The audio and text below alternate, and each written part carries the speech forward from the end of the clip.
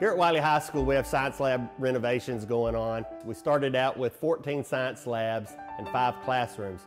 We increased the size of the science labs, turning it into 16 science labs by using all of that space.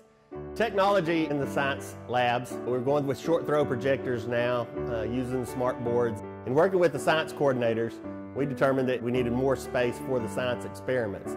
We decreased the amount of sinks that were in the rooms now that our science labs include the classrooms rather than have a classroom then a science lab. It increases the footages of a science lab, which is needed for the amount of students that are here at Wylie High. All the cabinetry that was taken out of the current science labs, we are reusing in the new science labs. Wylie High School is 15 years old, and working with the science coordinator, we have been planning this for over the last three years.